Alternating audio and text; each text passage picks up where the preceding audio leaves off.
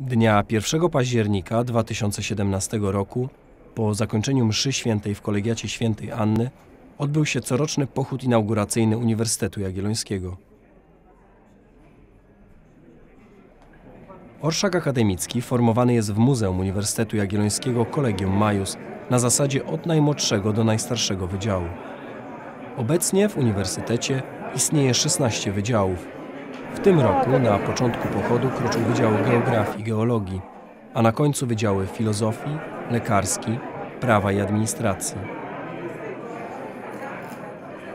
Na czele każdego z wydziałów idzie pedel, który niesie berło charakterystyczne dla danego wydziału.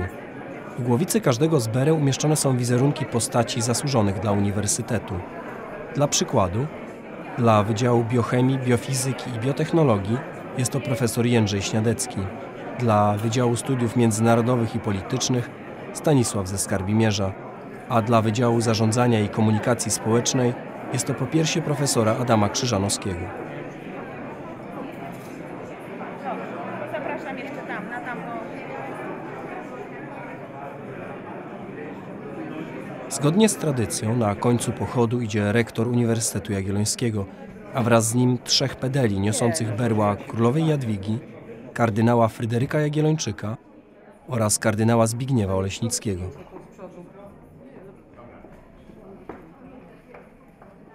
Tradycja orszaków akademickich sięga czasów średniowiecznych.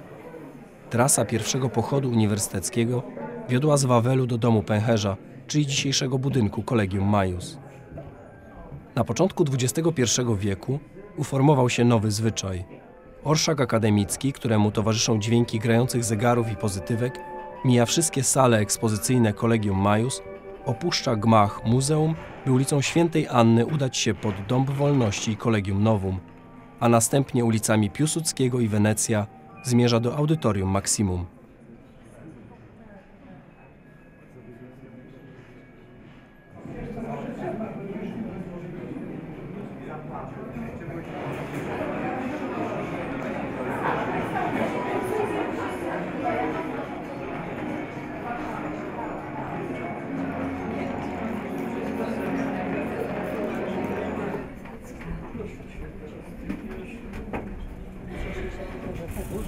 value.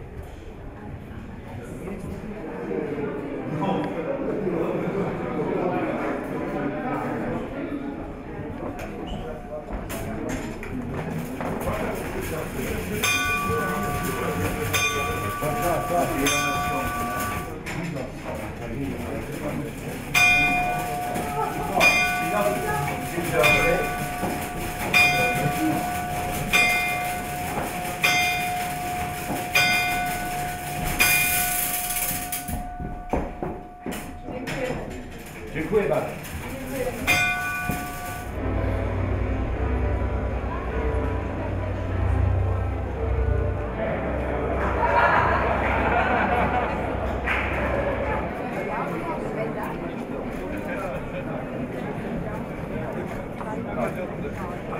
Nie, nie, nie, kroku do następnego na Dobra,